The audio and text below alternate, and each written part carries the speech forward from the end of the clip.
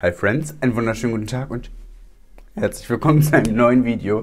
Ich habe heute eine schöne, süße Kiste mit Produkten hier, die entweder neu sind oder weder ich, vielleicht auch, also ein paar Kinder.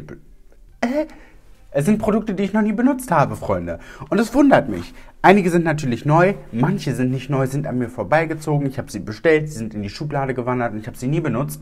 Das möchte ich heute mit euch ändern. Ich freue mich, dass ihr heute hier seid. Ich hoffe, ihr hattet alle eine erfolgreiche und gesunde und glückliche Woche. Falls nicht, hoffe ich, dass euer Wochenende ein bisschen besser wird. Ich bin da. Ich habe gerade schon Reel gedreht, also falls ihr irgendwo Lash Glue oder roten Glitzer seht, schaut bei Instagram vorbei, dann wisst ihr, was da los ist. Ich bin gerade hier richtig gut am Reels drehen und äh, ihr liebt das und da freue ich mich natürlich drüber. Ich habe noch nichts im Gesicht und ich würde vorschlagen, wir fangen auch gleich an. Ich habe wirklich spannende Produkte hier. Manche habe ich schon mal benutzt, aber euch noch nicht gezeigt. Und ich glaube, dass die ein oder anderen Produkte vielleicht für viele von euch interessant sein könnten. Falls ihr neu seid, würde ich mich freuen, wenn ihr meinen Kanal abonniert. Auch wenn ihr öfter hierher kommt, Freunde, ich weiß, dass ihr öfter hierher kommt. Deswegen, ich weiß, es ist total nervig, aber ihr helft mir damit sehr. Und deswegen würde ich mich freuen, wenn ihr meinen Kanal abonniert. Das erste Produkt, was ich gerne benutzen möchte, ist das hier. Der NYX Bear With Me Hydrating Jelly Primer. Der ist für ein Video, was ihr nächste, übernächste Woche sehen werdet. Ähm, ew, das ist so ein Jelly. Oh, aber schön kühlend. Okay. Mm. Das ist wirklich wie so ein. Ew. Oh, wie so ein Wackel. Mm. Okay. Das ist wie so ein Wackelpudding. Es gibt einige Texturen, die ich nicht anfassen kann, vom Gefühl her. Da kriege ich so richtig Gänsehaut. Eins ist Vlies und das andere ist alles, was glibberig ist. Und das ist extrem glibberig, fühlt sich aber ultra schön auf der Haut an. Also, das ist jetzt First Impression. Zieht nicht so schnell ein, aber die Haut fühlt sich sehr gut mit Feuchtigkeit versorgt und wird so ein bisschen klebrig, ähnlich wie so dieser Milk Hydro Grip Primer. Gefällt mir, abgesehen von dieser Textur, ganz gut. Ist halt wie so ein Film Wasser auf der Haut, ne? Ja, Okay, falls ihr die Produkte schon kennt, könnt ihr mir das gerne in die Kommentare schreiben und mir eure kleine Review dazu absetzen. Generell, falls ihr ein Produkt habt, wo ihr der Meinung seid, dass ich das noch nicht kenne, könnt ihr mir das auch unbedingt bei Instagram schicken, dann kann ich das vielleicht mal testen oder so. Das fühlt sich jetzt aber soweit ganz gut an. Ich fand es ein bisschen teuer für das, was es ist. Also das ist ja eigentlich nur Wasser, denke ich mal, ne? Aber fühlt sich okay an. Also das muss ich jetzt mal weiter testen. Ich werde es bis zum Video, vielleicht seht ihr das nächste Woche sogar schon, ähm, auf jeden Fall weiter benutzen. Ich habe es jetzt da, ich finde es jetzt nicht schlimm. Mm, mal schauen, wie es unter Make-up aussieht. Wir machen auch weiter mit einer Foundation und ich glaube, sie ist ein bisschen dunkel. Das ist die Elf High... Wer ist sie? Elf Foundation? Ich glaube, die haben nur die. Oil-free mit 15 äh, Lichtschutzfaktor. Ich habe sie geswatcht. Ich habe sie in der Farbe Buff und es könnte ein bisschen knapp sein. Wollen wir es mal ausprobieren? Hm. Also ich trage mir jetzt nur mal eine ganz dünne Schicht davon auf. Vielleicht funktioniert es ja doch. Ich bin ja im Moment eh so ein bisschen auf dünnere Foundation-Schichten, weil meine Haut... Okay, wait a second, wait a second. Hold on. Schaut mal. Ist es jetzt vielleicht doch ein Color Match? Und das ist der Punkt, Freunde. Swatcht niemals eure Foundation an der Hand. Weil seht ihr hier diesen dunklen Fleck? Natürlich ist mein Arm heller als mein Gesicht. Okay, ich mache mal die halbe Seite. Ich kenne die Foundation tatsächlich noch nicht. Die wurde mir empfohlen. Auch in dem Video, was ich euch neulich, was ich euch demnächst zeigen werde. Sie riecht ein bisschen unangenehm, muss ich sagen. Also sie riecht ehrlich gesagt so wie die Wet n Wild Foundation. So ein bisschen nach Lack und Wandfarbe. Heißt aber, da sind keine Duftstoffe drin, die zumindest irritierend sein könnten. Das Einzige, was mich irritiert, ist der Duft. Aber ich finde es jetzt nicht schlimm. Also mein Leben, ihr feiert den Spruch total, mein Leben besteht aus Duftstoffen. Farbe ist aber, sie sieht sogar ein bisschen glowy aus, oder? Okay, ich bin ein Stückchen näher gekommen, dass ihr euch das Ganze mal angucken könnt. Also die Farbe sieht wirklich perfekt aus. Wenn ich eine dünne Schicht auftrage und ganz ehrlich, 80% der Menschen, die Make-up tragen, tragen nicht so viel Make-up wie ich. Also wirklich Cake, Cake, Cake ist das eine sehr, sehr schöne Farbe. Ich sollte die Foundations jetzt immer von der Intuition her eine Nuance dunkler tragen, oder? Ich liebe die Foundation jetzt schon vom Finish her. Das sieht total frisch aus. Ich stelle euch mal ein Stückchen dunkler. Schaut mal. Jetzt seht ihr das. Also so sieht das Ganze auch im Alltag aus. Ich habe extra Tageslicht eingestellt bei meinen Lampen. Von Namen sieht das Ganze wirklich bombastisch aus. Also das ist nur eine hauchdünne Schicht und in Kombination mit dem Primer sieht das ultra wet aus. Ganz, ganz feucht. Okay, die muss ich definitiv weiter testen. Also First Impression ist fantastisch. Auch die Farbe. Sie sieht so ein bisschen kühler aus. Also Buff scheint eher so ein bisschen neutraler zu sein. I love it. Ich habe neulich was heißt neulich? Es war Ende Dezember bei Beauty Bay bestellt, weil ich einfach mal für ein Video neue Concealer austesten wollte. Ich habe das Video nie gemacht irgendwie, ich weiß nicht warum, vielleicht kommt es auch noch. Ich habe, glaube ich, zehn verschiedene Concealer gekauft und ich habe auch ein paar schon benutzt. Unter anderem den Dose of Colors Meet Your Hue Concealer und von Kimchi Chic. Das ist eine Drag Queen aus äh, Amerika. Die hat bei RuPaul's Drag Race gemacht. Das ist wie Germany's Next Topmodel, nur mit Drag Queens. Iconic. Und die hat Concealer rausgebracht. Viele, viele Farben. Ich habe zwei verschiedene gekauft. Der ist ein bisschen heller. Also ihr seht, der hat so ein Pinselchenfüßchen. Das mag ich persönlich nicht. Ich gebe mir den jetzt aber hier so ein bisschen als Highlights hin, weil der ist jetzt ein bisschen zu hell im Vergleich zu der Foundation. Sehr, sehr schön. Aber also der Concealer, ich trage den aktuell ausschließlich im Alltag. Ich habe ja sonst immer den von L'Oreal getragen. Der hat ja mein Tarte Shape Tape abgelöst. Den mag ich auch sehr gerne. Also davon braucht man echt nicht viel. Der ist extrem deckend. Ihr seht ja, ich benutze wirklich nur so ganz dünne Schichten und drücke kaum Produkt raus. Und dadurch kriege ich halt so einen schönen Highlighting-Effekt. Den kann ich jetzt schon mal hier so ein bisschen ausblenden. Und ihr seht, das gibt so ein bisschen Licht an die Stellen, die so ein bisschen dunkler sind. Also die Nase beispielsweise oder hier der Außenwinkel. Ich finde, das liftet das ganze Gesicht nochmal so ein bisschen schön. Beim Rest unter den Augen benutze ich den im Dose of Colors Concealer. Der hat ein fantastisches Füßchen. Ich liebe diese großen Füßchen und auch der hat eine gute Deckkraft. Er ist so ein bisschen Feuchtigkeitsspender. Das Problem, was ich mit dem Concealer habe, ist, dass er, also er sieht ungesettet wunderschön aus. Ich zeige es euch gleich. Sobald man ihn aber settet und zu viel settet, wird er so nach zwei, drei Stunden so ein bisschen trocken unter den Augen. Und das mag ich persönlich gar nicht. Deswegen setten wir ihn heute nur ganz, ganz, ganz, ganz leicht. Er hat aber auch eine schöne Deckkraft. Ne? Also ihr seht sofort, es ist super schön aufgehellt unter den Augen. Die Kombination von den beiden Concealern ist auch wirklich schön. Also es hat super aufgehellt. Wir können jetzt gerne auch nochmal mit dem so ein bisschen runtergehen. Hier an der Tränenrinne.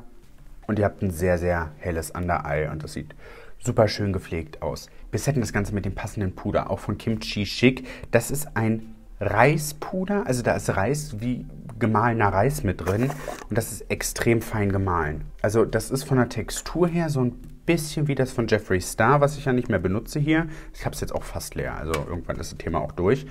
Und das hat so eine leichte Färbung und damit gehe ich ganz leicht runter.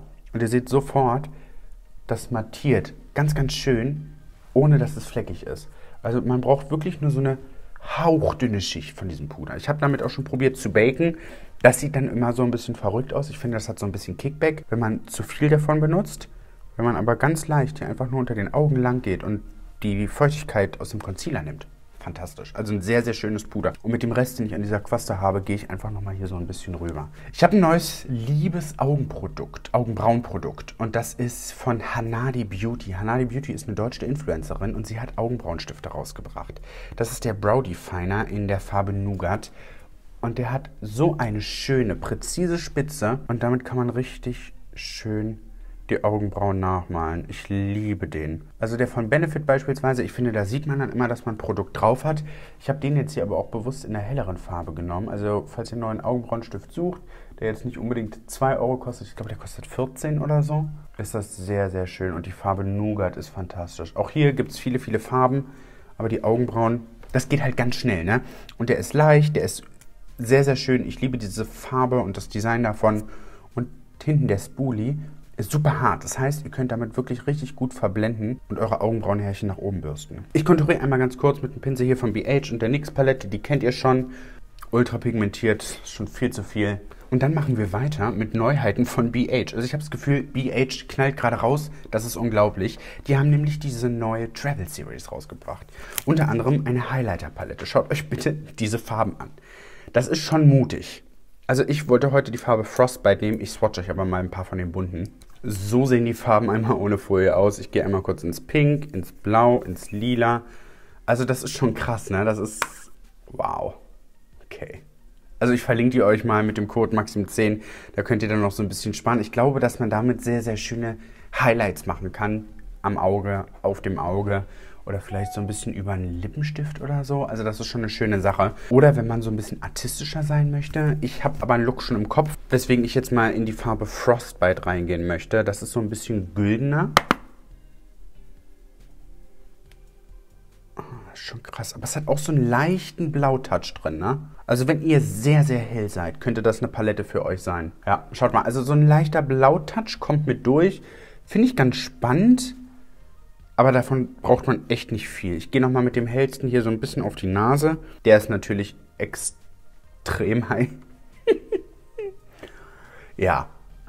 Ähm, also ist eine mutige Palette. Weiß ich jetzt nicht. Passt so ein bisschen zum Thema. Für den Alltag vielleicht eher weniger. Wir haben aber noch eine Lidschattenpalette. Das ist die passende dazu aus dieser Reihe. Das ist die Los Angeles Palette. Mm, und hier sind sehr, sehr schöne eher so ein bisschen pastellige Farben drin. Und ich habe einen Look, ich möchte wieder so einen Monochrom-Look machen, mein absoluter, absoluter, absoluter Lieblingslook. Und ich dachte eigentlich, dass der Highlighter auch so ein bisschen in dieses Orange geht. So sehen die Farben einmal aus. Wir haben sehr, sehr schöne pastellige Farben. Und ich fange als erstes mit dem flachen Pinsel an, der ist aus dem Kiso-Set und gehe in die Farbe The 405. Das ist so ein schönes Orange. Klopf ab und setze mir das direkt hier auf mein Lied. Kleiner Pro-Tipp, den ich jetzt nicht mache, einfach um zu schauen, wie die Farben auch so sind. Wenn ihr so pastellige Farben benutzt, benutzt unbedingt eine weiße oder eine sehr, sehr helle Lidschattenbase. Dann kommen die Farben einfach nochmal ganz anders aus, als wenn eure eigene Hautfarbe durchscheinen muss. Was ich gerade ganz spannend finde, in der Kamera sieht es nicht so leuchtend aus wie im Real Life. Also im Real Life ist das eher so ein bisschen wie Neon, aber nicht so aufdringlich Neon. Also ganz spannend. Ich swatch euch selbstverständlich auch gleich nochmal ein paar spannendere Farben. Farbe hat ein bisschen Kickback in der Palette. Ich habe damit nicht so ein Problem. Aber schön. Uh, uh, toll. Ich nehme die Farbe WeHo. Das ist so ein helleres Pink. Und die blende ich oben mit rein, um diesen Monochrom-Look zu haben. Wenn ihr im Moment Zoom-Meetings habt oder so, oder mal schnell irgendeine Konferenz, Online-Videokonferenz. Diese Monochrom-Looks, Freunde, spart euch die Zeit am Morgen um euch hier Cut Crease links, rechts, irgendwas zu schminken. Zwei, drei Farben, es reicht, einfach um frisch auszusehen. Dafür sind solche bunten Farben, finde ich immer ganz schön. Die kann man natürlich auch intensiv aufbauen, man kann sie aber auch so ein bisschen alltags- und businesstauglicher machen. Schaut mal, wenn man jetzt irgendwie so einen schönen schwarzen Blazer drüber werfen würde oder so. Yes. Was mich irritiert, ist der Highlighter. Dieses Blau, das gefällt mir nicht. Gehe nochmal mit meinem Finger in die Farbe Malibu. Das ist so ein richtig... Uh, wow. Und das gebe ich mir einfach nur hier rüber. Komplett übers Lid. Sehr, sehr schön. Jetzt schöne Lashes oder ein Eyeliner. It's enough. Ich zeige euch nochmal die Farben Sunset Boulevard, Starstruck, uh, The Hills sieht auch gut aus. Sehr bunt, ne? Also wer so auf bunte Lidschattenpaletten steht, da könnte das tatsächlich was sein. Ja, krass. Okay, also es sind sehr, sehr spannende Farben drin. Auch Farben, die man sonst nicht so un unbedingt hat. BH ist ja wirklich bekannt dafür, schöne, limitierte Farben zu haben, die es auch wirklich nur in dieser Palette gibt. Wie zum Beispiel diese Farbe hier. Also das ist so ein Duo-Chrome-Shift aus Weiß und Rosa und Blau. Ähnlich wie so ein bisschen der Highlighter. Schaut mal, die Farbe nur oben auf den oberen Wimpern und ihr habt einen super alltagstauglichen Look. Yay! Es gibt aber noch andere Produkte und die sind auch neu. Und zwar hat Charlotte Tilbury diese Hyaluronic and Happy Kiss Lippenbalsams rausgebracht. Mit Farben. Ich habe alle Farben einmal hier. Also ihr seht, es gibt richtig, richtig viele. Und ich wollte heute mal die Farbe Happy Peach benutzen. Ich habe die noch gar nicht ausprobiert. Die sind gestern gekommen. Und so sieht das Schätzchen einmal aus.